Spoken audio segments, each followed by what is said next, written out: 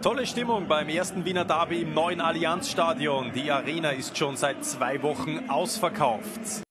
Und Rapid-Trainer Mike Büskens muss die Innenverteidigung neu besetzen mit Max Hofmann und Mario Sonnleitner, der damit zum ersten Mal überhaupt in dieser Saison eingesetzt wird. Die Austria startet gut und kommt schon nach drei Minuten zum ersten Mal gefährlich in den Rapid-Strafraum und zwar über Larry Kajode. Rapid macht in einem intensiven Spiel zunächst zu viele Fehler und wird deshalb erst nach einer halben Stunde richtig gefährlich. Joelton kommt hier nach schönem Zuspiel von Trösterson zum Abschluss. Und mit dieser Chance ist Rapid erst richtig im Spiel angekommen. Zwei Minuten später schon wieder Joelton, da im Kopfballduell mit Machinko und Schwab kommt auch noch zum Abschluss. Guter Einsatz des Austria-Verteidigers hier, Machinko ohne Foul gegen Joelton. Rapid drückt in dieser Phase auf den Führungstreffer. Der fällt dann aber auf der anderen Seite. Strebinger ist mit den Fingerspitzen dran, dann Sonnleiter gegen Grünwald und Schiedsrichter Harald Lechner zeigt auf den Punkt. Und das ist eine glückliche Entscheidung für die Austria, denn Sonnleitner trifft hier eigentlich den Ball. Der Kopf von Grünwald ist weit unten, trotzdem gibt es Strafstoß und den verwandelt Raphael Holzhauser nach 37 Minuten zum 1 zu 0 für die Wiener Austria. Souveräner Elfer, zweites Saisontor für Holzhauser. Die Austria geht zu diesem Zeitpunkt doch überraschend in Führung und Rapid versucht sofort den Ausgleich zu erzielen. Nach 43 Minuten gibt es die Topchance für Louis Schaub, der scheitert an Hatzikic und dann kommt auch noch Stefan Schwab, der Rapid-Kapitän, zum Abschluss. Joelton hat zunächst die Übersicht und spielt den Pass auf Louis Schaub. Der macht hier auch vieles richtig, lässt Marcinko aussteigen, scheitert dann aber am starken Osman Hatzikic, der den verletzten Robert Almer im Austria-Tor ersetzt. Und unglücklich für Rapid ist, dass sich Kapitän Schwab bei dieser Möglichkeit dann auch noch so schwer verletzt, dass er nicht weiterspielen kann. Tamas Santo kommt für ihn und Rapid liegt nach der ersten Hälfte mit 0 zu 1 zurück. Und die zweite Hälfte beginnt mit einem weiteren Schock für Rapid. Nach diesem verunglückten Abschlag von Richard Strebinger kommt der Ball schnell wieder zurück und Alexander Grünwald stellt nach 47 Minuten auf 2 zu 0 für die Wiener Austria. Grünwald erzielt schon sein fünftes Saisontor. Richard Strebinger hat hier auch mitgeholfen und dann spielt Venuto diesen Pass auf Kajode der ahnt Grünwald in seinem Rücken. Das hat er richtig stark gemacht. Und der Austria-Kapitän hat dann natürlich keine Mühe, hier das Tor zu machen. Und wenig später hätte schon endgültig alles klar sein können. Da kommt Felipe Pires zu dieser Top-Möglichkeit für die Austria. Er macht's alleine und scheitert an Richard Strebinger. Wieder eine Unsicherheit bei Rapid. Schlechter Rückpass, den Sonnleitner hier nicht klären kann und Pires hätte hier wohl besser aufspielen sollen, hatte dazu auch zwei Optionen. Rapid ist geschockt und es dauert bis zur 73. Minute, bis es dann eine zwingende Chance auf den Anschlusstreffer gibt. Die hat Mario Sonnleitner. Die Grünen scheitern auch an ihrer Chancenverwertung. Rapid lässt auch die besten Möglichkeiten liegen. Santo trifft nach 82 Minuten nur die Stange und Schaub vergibt dann den Rebound. Das war eine weitere Riesenmöglichkeit für Rapid. Santo hat bei seinem Abschluss einfach nur Pech. Der Ball springt ins Feld zurück. Schaub hat dann das leere Tor vor sich und muss eigentlich das 1 zu 2 machen. Und eine Chance gibt es dann noch in der Nachspielzeit, um zumindest einen Ehrentreffer zu erzielen. Quilitaya hier zunächst mit dem Kopf und dann scheitert auch noch Maximilian Hoffmann am herausragenden Osman Hatzikic. Das ist die letzte Chance für Rapid und das sind die letzten beiden starken Paraden vom Austria-Keeper.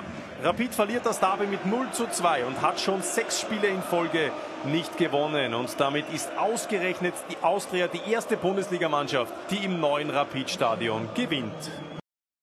Äh, natürlich haben wir gewusst, dass das ein Pflichtsieg ist eigentlich. Ähm, und wir haben es aber nicht geschafft, deswegen wird es ungemütlich. Es ist äh, nichts Neues. Äh, wir wissen dass wir gewinnen müssen und siegen müssen und ähm, das ist uns leider nicht gelungen heute. Wir werden weiter kämpfen und alles tun, um, um, um wieder in die Spur zu finden. Für uns ein, definitiv ein, ein bitterer, bitterer Nachmittag, ähm, weil wir ja, nach den, nach den ersten 15 Minuten, wo es, hektisch war, wo es aggressiv war, ähm, von, von beiden Seiten, wir eigentlich eine, eine gute Kontrolle hatten im Spiel, uns ähm, ja, Riesenchancen rausgespielt haben, wo uns dann ja, wieder einmal die, die Abgeklärtheit, die Ruhe vor dem Tor fehlte, um, um dann auch hier in Führung zu gehen. Wir haben eigentlich in der ersten Halbzeit nicht viel falsch gemacht, sind trotzdem in Rückstand geraten und haben in der zweiten Halbzeit dann immer Rückgänge machen können und haben dann verloren. Ja, wir sind, glaube ich, nach den ersten hektischen Anfangsminuten haben wir das Spiel kontrolliert. Ähm, ja, dann kriegst halt einen ungerechtfertigten Elfmeter. Ähm, bist 1-0 hinten, ja. Und dann, natürlich haben wir Chancen gehabt, genug, ähm, trotzdem zu gewinnen. Aber ist uns halt mal wieder nicht gelungen. Und wurden dann ja, bitter bestraft ja, durch eine Situation, die man nicht geben muss, ja, weil, äh, weil die Entscheidung schon mehr als hart war, diese, diese Elfmeter-Entscheidung. Äh, weil Sonny geht zum Ball, trifft den Ball und der Kopf ist ziemlich weit unten vom, vom Spieler von Austria. Aber ja, das, das war ein Nackenschlag, der, der in unsere Situation passt, genauso wie die, wie die schwere Verletzung von Stefan Schwab. Der Ball wird reingeflankt, ähm, der Torhüter fälscht den ab von uns und ähm, ich gehe zum Ball, ähm, ganz normal, spiele den Ball auch und der Grünwald kommt dann mit einem Hechtkopfball und ähm, will den Ball mit dem Kopf eben verwerten. Und es ist ein Pressschlag mit dem Kopf und ich mit dem Fuß. Und ja, und der Schiri pfeift auf einmal Elfmeter. Ähm, sehr für mich unverständlich, weil ich, ich ungefähr in Hüfthöhe war. Meiner Meinung nach war das ja, vielleicht der Presser, aber der ist mit, mit dem Kopf, weiß ich nicht, auf Kniehöhe, auf irgendwas. Was soll der Sonny machen? Ich meine, das ist Fußball. Soll auch mit dem Fuß hingehen. Ich meine, macht einen Hecht-Kopfball. Keine Ahnung, was, äh, sich der Schiedsrichter gedacht hat. Also, es war eine Fehlentscheidung. Den Elfmeter habe ich noch nicht gesehen, ob er den geben muss oder auch nicht, aber es ist egal, der Schiedsrichter hat entschieden und ja, ich glaube, ich habe dann die Riesenchance aufs 1-1, muss ich machen. Nehme ich auf meine Kappe und ja, in der zweiten Halbzeit gleich das 2-0 kassiert. War auch nicht ideal für uns. Ich denke, wir haben trotzdem noch alles gegeben und ja, wollten den Anschlusstreffer ziehen, aber haben es einfach halt nicht geschafft. Wir haben genug Chancen gehabt. Die Austria auch, ist nur mal einmal noch durchgekommen nach dem 2-0, ähm, was auch normal ist, aber sonst haben wir es gut gemacht. Wir haben, das Spiel kontrolliert, aber im Endeffekt halt den Ball nicht reinkriegt. Ähm, und das ist das Wichtigste im Fußball. Ja. Die Fans haben mich toll empfangen. Ähm, ich bin ähm, sehr, sehr dankbar für die Unterstützung, die sie mir geben. Für mich ist es natürlich nicht einfach ähm, gewesen, weil ich mein letztes Spiel letzte Saison gehabt habe. Und, ähm, aber ich habe alles gegeben, versucht, alles rauszuhauen aus meinem Körper. Ich habe, ähm, ja, ja, leider hätte ich mir das Comeback anders gewünscht, aber es ist halt so, wie es ist. Wir haben, wir haben, es ist kein Wunschkonzert und ähm, das Leben geht weiter. Wir müssen schnell wieder aufstehen, ähm, die Köpfe hoch, ähm, Köpfe aufrichten und das nächste Spiel ist gegen Blau-Weiß Linz. Ähm, du, es geht, es geht einfach nur, dass du weiter arbeitest, dass du weiter hart arbeitest, weil ähm, ich glaube, dass wir, dass wir heute auch in vielen, vielen Phasen richtig gut Fußball gespielt haben.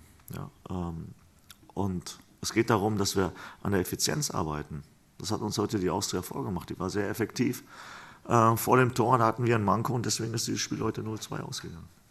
Ja, ähm, ich glaube, dass das ganze Spiel ein Produkt der Vergangenheit war. Also äh, wir haben ähm, in der Vergangenheit gute Leistung gezeigt, ähm, haben Siege eingefahren, auch ähm, gegen Rom ein gutes Spiel gemacht. Ich glaube, dass diese, diese Vergangenheit viel Selbstvertrauen mitgebracht hat. Auch natürlich in der einen oder anderen Situation Glück. Wenn man, nur, nur wenn man gut gespielt hat, hat man auch mal in den ein oder anderen Situationen Glück. Und in der Vergangenheit hat Rapid Wien äh, Probleme gehabt und ähm, dann gehen auch die größten Chancen mal nicht rein. Und ich glaube, dass wir die ersten 25 Minuten eine sehr gute Leistung gezeigt haben. Wir haben gleich gezeigt, dass wir gewinnen wollen, ähm, dass wir dann nach dem Elfmeter doch sehr destruktiv gespielt haben, über außen viel zu viel Platz gelassen haben und auch ähm, vorne im Stören des Spielaufbaus mit zwei gegen vier zu wenig Spieler hatten. Das heißt, haben wir bisschen äh, in der Halbzeit äh, wollten wir das verändern, aber wir haben dann auch das 2 zu 0 gemacht in der richtigen Situation. Das war auch, glaube ich, für uns sehr, sehr wichtig. Ich glaube nicht, dass wir es hätten sonst mit dem 0-1 durchgestanden bis zum Schluss. Ich wusste, dass wir ein 2-0 machen mussten. Und ich bin natürlich stolz nach, der schwer, nach dem schweren Spiel in Rom dass die Mannschaft nochmal hier diesen Siegeswillen hatte, ähm, dass das Spiel für mich heute wichtiger war als das gegen Rom, habe ich vorher schon meiner Mannschaft gesagt. Ähm, die Meisterschaft ist die Basis und ähm, nicht die Europa League, das nimmt man mit und nimmt das, den Wind mit, den man dort natürlich mitnehmen kann, aber am Ende müssen wir am Sonntag gewinnen und wir sind die erste Mannschaft, die hier gewonnen hat und das ist natürlich auch für unseren Verein sehr, sehr wichtig. Danke. Vielen Dank, Mac. Darf dich bitten, wir haben die Statistik vor uns liegen. Glaubt man nicht, dass das Ergebnis dann, sobald man die Zahlen sieht. Aber doppelt schmerzhafte Niederlage natürlich, auch wegen erneut zwei Verletzungen. Ja, erstmal, erstmal Glückwunsch an Thorsten. Ähm, aber natürlich doppelt schmerzhaft, weil. Ja, super Kommentar. Ähm, wie war das mit Größe und Sieg? Aber ähm, ja, für uns ein, definitiv ein, ein bitterer, bitterer Nachmittag, ähm, weil wir ja, nach, den, nach den ersten 15 Minuten, wo es, hektisch war, wo es aggressiv war, ähm, von, von beiden Seiten, wir eigentlich eine, eine gute Kontrolle hatten im Spiel, uns ähm, ja, Riesenchancen rausgespielt haben, wo uns dann ja, wieder einmal die, die Abgeklärtheit, die Ruhe vor dem Tor fehlte, um, um dann auch hier in Führung zu gehen. Wie gesagt, es war mehr als einmal möglich. Ähm, wir haben, wir haben diese, diese Chancen verpasst ähm, und wurden dann ja, bitter bestraft ja, durch eine Situation, die man nicht geben muss, ja, weil, äh, weil die Entscheidung schon mehr als hart war, diese, diese Elfmeter-Entscheidung. Äh, weil Sonny geht zum Ball, trifft den Ball, und der Kopf ist ziemlich weit unten vom, vom Spieler von Austria. Aber ja, das, das war ein Nackenschlag, der, der in unsere Situation passt, genauso wie die, wie die schwere Verletzung von Stefan Schwab. Ähm, haben uns dann viel vorgenommen für die zweite Halbzeit und, und bringen uns dann ähm, ja, in noch größere Not direkt nach der, direkt nach der Halbzeit, weil wir ähm, den Ball nicht weit genug schlagen können ähm, dann die Auszeit den Ball abfängt, äh, die Situation dann gut ausspielt und dann bist du 2-0 hinten. Und trotzdem, trotzdem äh, hältst du die Initiative noch hoch, hast, hast Chancen, leere Tor, hast Chancen 10 Meter vor dem Tor. Ähm, wirst, dann, wirst dann hektisch, bleibst nicht, bleibst nicht ruhig und äh, hast dann am Ende 30 zu 8 ja, an Torschüssen, äh, Schüssen, aber im Ergebnis 0 zu 2. Und damit müssen wir leben, ähm, das müssen wir für uns, für uns verarbeiten und äh, ja, durch diese Situation gehen. Dankeschön. Herzlichen Dank. Ich gehe davon aus, Kollege Hackel möchte den Beginn machen, weil das Mikrofon auch schon da ist. Bitte schön. Trainer Büskens, ich meine, ist jetzt zu befürchten, dass diese üblichen Mechanismen im Fußball anfangen. Man hört schon von der Tribüne, jetzt ist gegangen Müller raus, dann am Schluss ist es. Äh, ja, wie, wie, was, was kann man da machen? Ich meine, einfache Lösung ist gewinnen, das ist wahrscheinlich die, die schwierigste. Ne? Ja, ähm, du, es geht, es geht einfach nur, dass du weiter arbeitest, dass du weiter hart arbeitest, weil ähm, ich glaube, dass wir, dass wir heute auch in vielen, vielen Phasen richtig gut Fußball gespielt haben. Ja, ähm, und es geht darum, dass wir an der Effizienz arbeiten. Das hat uns heute die Austria vorgemacht. Die war sehr effektiv. Äh, vor dem Tor hatten wir einen Manko und deswegen ist dieses Spiel heute 0-2 ausgegangen. Danke. Weitere Frage, Kollege Hackl, oder? Nein? Doch. Weil man sagt, ist das jetzt der Beweis, dass man eigentlich auf Statistiken pfeifen kann oder nichts aussagekräftig, wenn man wirklich diese Zahlen anschaut? Ja. Ballbesitz, Zweikampfquote, 59 Torschüsse, trotzdem gewinnt die Austria 2-0. Können wir in Zukunft sowas wegschmeißen? Ist das jetzt Ihre Meinung? Oder dann, brauch ich, dann brauchen Sie mir demnächst nicht mehr mit Statistiken zu kommen, auch, wenn es mal negativ gegen uns ist. Na, natürlich, äh, gewisse Statistiken sagen schon was aus. Das sagt aus, dass äh, einfach äh, Rapid heute kein schlechtes Spiel gemacht hat. Das sieht man ja. Also wer, wer so viel Flanken oder, oder Torschüsse hat und wer so viel Ballbesitz hat, der wird kein schlechtes Spiel gemacht haben. Nur die entscheidenden Fehler haben sie halt dann gemacht und wir haben die genutzt. Und ähm, von daher, das, das zählt halt im Fußball manchmal. Manchmal äh, stimmen die Statistiken und manchmal nicht, aber ich glaube, heute stimmen sie und äh, trotzdem haben sie für uns die beste Statistik gehabt. Die steht nicht da, dass wir die, oder steht da, dass wir die Tore gemacht haben. Das ist eine super Statistik. Ja, darf bitten, ganz, ganz letzte Reihe, Kollege Lang.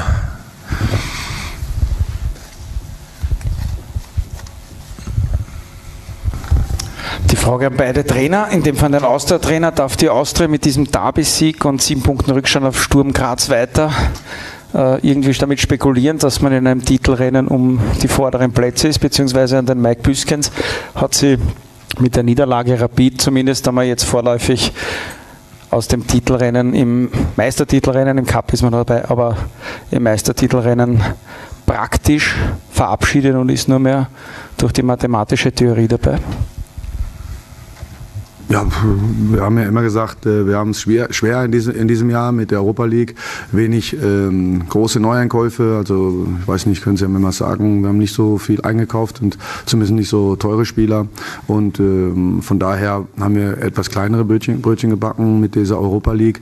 War es klar, dass wir den einen oder anderen Punkt liegen lassen, sonst hätten wir schon mehr haben können. Deswegen haben wir gesagt, natürlich trotzdem wollen wir Meister werden, weil der Anspruch äh, ist bei, bei Austria Wien einfach zu sagen, wir haben ja nicht letztes Jahr Drittjahr geworden, dann kann ich nicht sagen, warum wir da Dritter werden. Aber ähm, nur für uns ist es kein Muss. Und wir konzentrieren uns wieder einfach auf nächste Woche und schauen mal, was wir gegen Sturm machen können. Wenn Sturm gewinnt, sind es sicherlich viele Punkte. Ähm, wenn wir gewinnen, dann, wenn Sturm dann unser Konkurrent ist, dann nehmen wir das natürlich an. Aber ähm, ich glaube, dass am Ende Red Bull ähm, äh, schon der Meisterschaftsfavorit äh, ist weiterhin. Ähm, sie müssen das auch sein, wenn ich die Vergangenheit sehe und was sie ausgegeben haben für, für Spieler. Danke. Ja, und zu uns, ähm, wir sollten, wir sollten daran arbeiten, äh, was die, was die Statistik beschreibt, nämlich, dass wir effektiver sind. Und deshalb brauchen wir jetzt nicht auf die Tabelle schauen. Das sollte uns äh, gar nicht beschäftigen, sondern wir sollten schauen, dass wir im Abschluss ähm, wieder zu einer Stärke finden, na, dass wir nicht auch wie am, am vergangenen Donnerstag ähm, Spiele erleben, wo wir uns nicht dafür belohnen, dass wir uns eigentlich ähm, viele, viele Möglichkeiten erspielen. Und deswegen ist es jetzt nicht elementar, dass wir auf die Tabelle schauen. Entschuldigung um die Nachfrage. Rapid war Vizemeister letztes Jahr, hat den Trainer gewechselt und ist im Moment eher aus dem Rennen um einen Meistertitel heraus und wahrscheinlich früher als geplant, ist auch klar. Aber ist es nur Spekulation im Moment Ihrer Meinung nach oder muss man das möglicherweise früher abhaken, als man es vorhatte? Na, wir sollten jetzt erstmal schauen, dass wir uns auf die nächsten Spiele fokussieren und nicht darauf, ähm, was die Tabelle zeigt. Ja? Das sind für uns Dinge, die wir jetzt beeinflussen können. Ja, Dankeschön. Ja, gut. War Fehlalarm, aber ich nehme an, es gibt noch die ein oder andere Frage. Bitte dem Kollegen Peter Klöbel.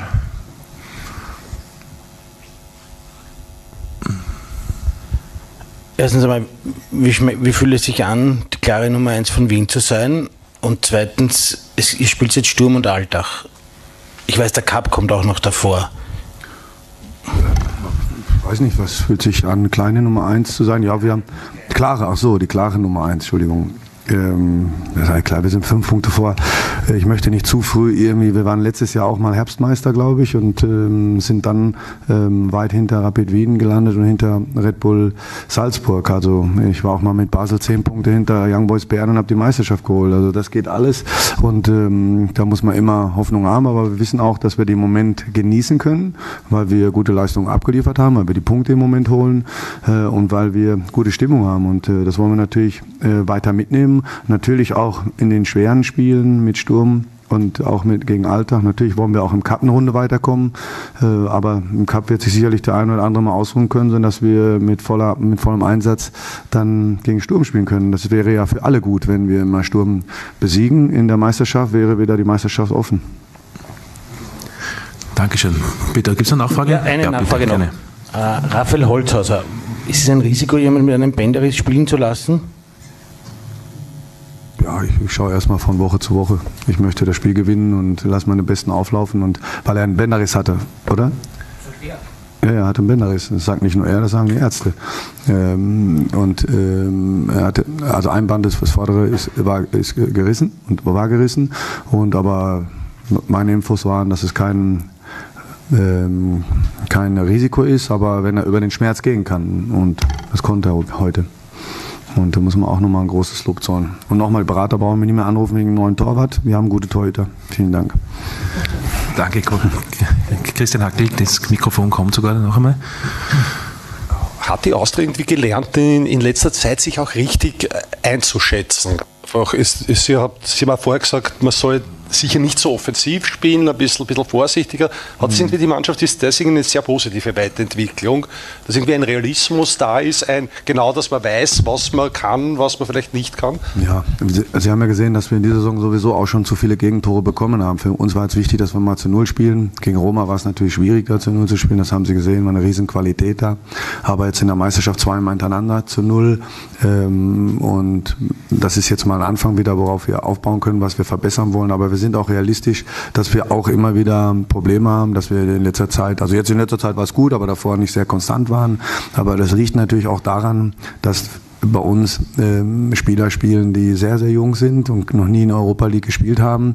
Ähm, das ist ein ganz anderer Rhythmus, daran muss man sich gewöhnen und vor allen Dingen auch, man geht, äh, letztes Mal hat mich jemand gefragt, warum könnt ihr nicht so immer spielen wie gegen Pilsen oder wie gegen, äh, und sagt, kommst du denn morgen auch zu St. Pölten, habe ich ihn gefragt und er hat gesagt, nee, St. Pölten gucke ich mir nicht an.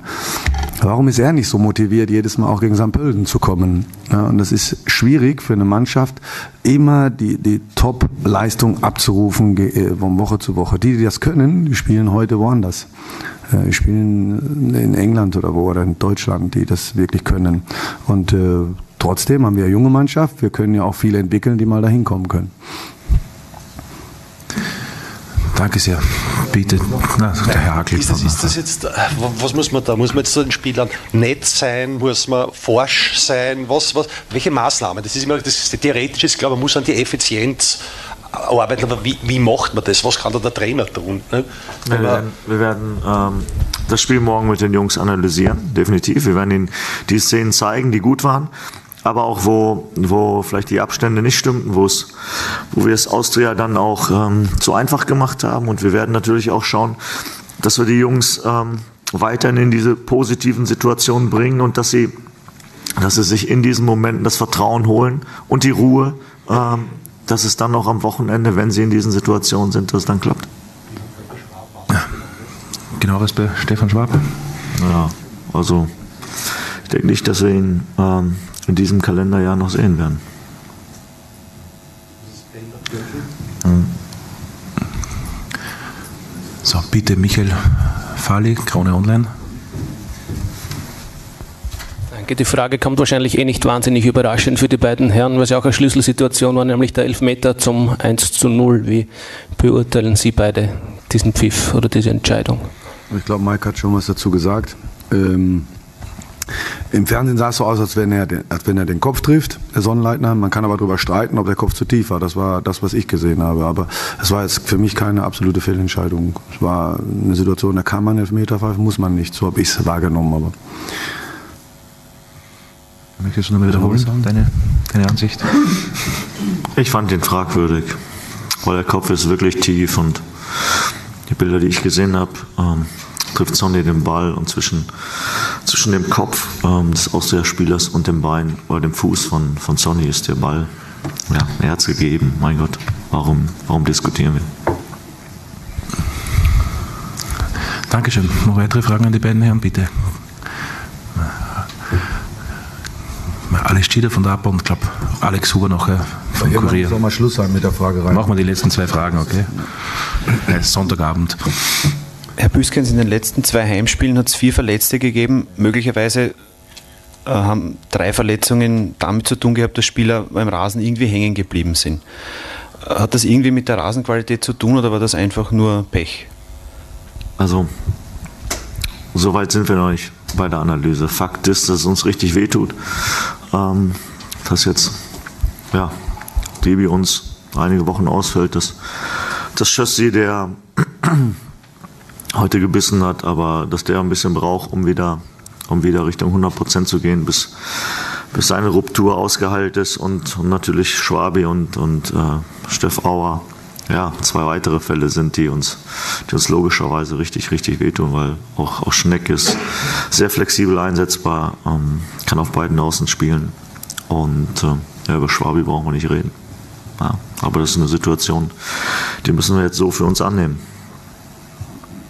Danke sehr, bitte. Alex Huber vom Kurier. Letzte Frage. Büskens, Sie sind ja schon lange im Fußballgeschäft und Sie wissen ja auch, wie, wie die Leute im Verein dicken und wie die Stimmung ist. Befürchten Sie, dass, dass Sie sich rechtfertigen müssen, dass Sie auch über Ihren Job entschieden wird? Oder ist das einfach eine Krise, wo man gemeinsam durch muss? Und sind Sie sicher, dass Sie in nächster Zeit, also in einem Cup-Spiel oder am Wochenende, noch Rapid-Trainer sein werden? Ja, davon gehe ich eigentlich aus. Es sei denn, Sie wissen mehr, aber ähm, eigentlich gehe ich davon aus, ja.